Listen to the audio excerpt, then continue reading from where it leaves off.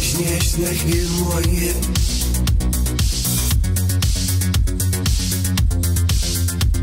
I aby umowi People